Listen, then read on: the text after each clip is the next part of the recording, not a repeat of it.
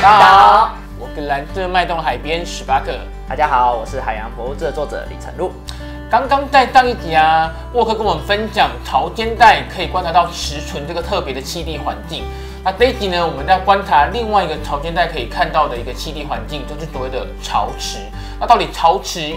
到底是怎么？那我们可以看到什么样特别生物呢？好好的，刚刚提到潮，刚刚在前面就有提到说潮间带嘛，是就是一个每天涨退潮之中会会中间的这一块区域，我们就是所谓的潮间带。当它退潮水位降低的时候呢，有一些地方呢地势比较低洼的地方呢，它就会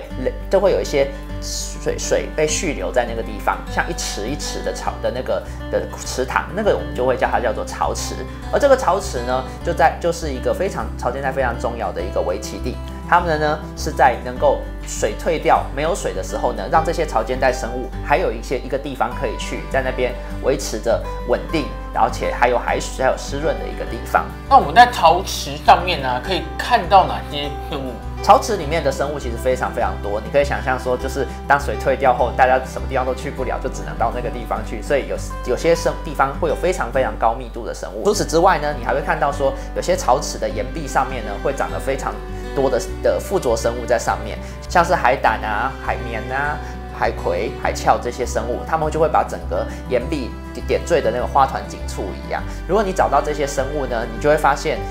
就有些可能就会再发现到说，它们的掠食者就会就会在附近活动，就像是你如果有看到这个海白色的一颗一颗的这个海绵多囊海鞘之外呢。你就会还会发现到去摄食它们的这个群橘色的群褶扁虫也会在附近去用它们肚子上的那个嘴巴去包住海鞘，然后去把去摄食它们。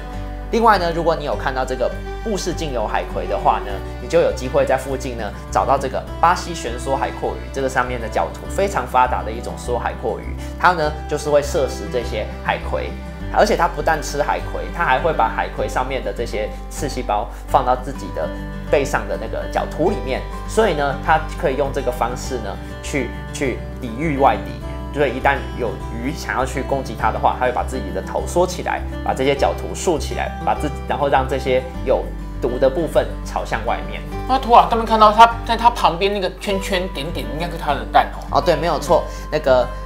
花心悬梭海阔鱼呢，它有时候也会在海葵附近呢产下这个一圈一圈，有点像是粉圆一样的这个蛋，这就是它们的卵团。啊除了这些这些生物之外啊，好像有看到有两个鱼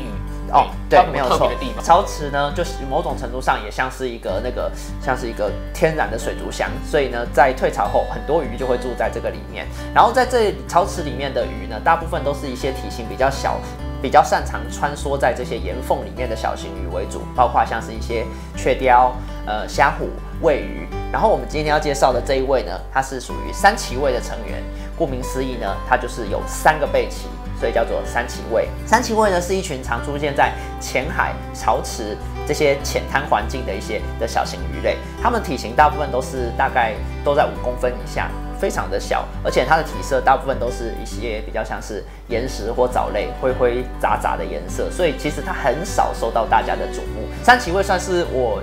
个人比个人蛮喜欢的一群鱼类，是因为它的颜色。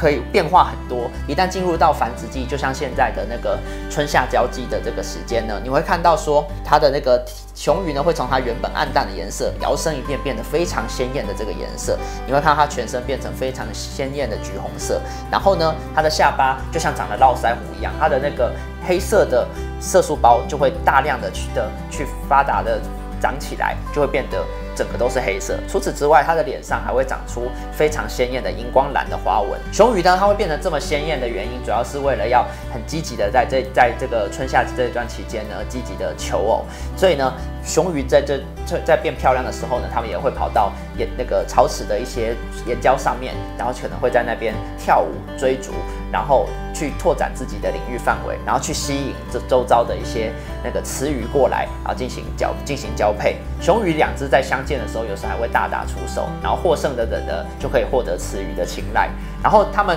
一只雄鱼呢，在一个繁殖季可能可以跟复数的雌鱼进行交配，他们会把它带到那个势力范围里面的岩石的底下，然后在那里边产下鱼卵。所以它是一个一夫多妻制的关系。对，是的。OK，我们有时候在潮池，然后看到那个海葵会缩起来，像果冻一样，是怎么样的原因造成它有这样的行为？哦，主要是为了这个，是为了保水。很多潮间带的生物都会有这种习习现象，尤其是这种底栖没有办法走的这种生物。像刚好提到退潮后，其实这个上面的潮湿比较上面的部分，其实就是没有水了。而有时候有时候像是一些海鞘啊，或者是海葵啊这些走不太开的动物呢，这时候他们会把全身缩紧，然后把水保保护在自己的体内。这时候呢，他们就就可以靠着这个方法保湿，这样的话水就不会蒸散掉。等到下一次涨潮之前，他们可能就会以这种像果冻的这种方式存在，这样这样就不会干死。那我们在做陶池的一个观察，因为刚刚我提到，因为陶池其实就是每天涨退潮所留下来的一个水洼。那在这个地方做观察，有什么是我们要特别注意到的地方吗？呃，主要就是看潮汐，因为呢，潮刚好提到涨退潮的退潮时候，我们才会看到潮池，所以涨潮的时候呢，其实。很容易就会受到外面的海浪的影响，而且呢，你也比较不容易在这边活动。所以为了安全，或者是还有为了看让我们就更充分的进行观察，所以呢，如果要去潮间带做调查的时候呢，最好可以先去中央气象局的自的网站去看一下这个潮汐表，每天的几点到几点是退到最低，每天的几点涨到最高，然后我们就可以挑退跳退到最底的时间的前后一个小时左右去到。去到潮间带，然后这时候我们就可以看到水已经退了，然后潮池也已经露出来了，然后我们就可以在那边进行比较安全的观察。好，那谢谢沃克这一次跟我们分享潮池的围观生态。那再来呢，下一集呢，我们要会让沃克带着我们去见识另外一个潮池，有可能会看到一个围观生态。那跟我们一起一起去吧。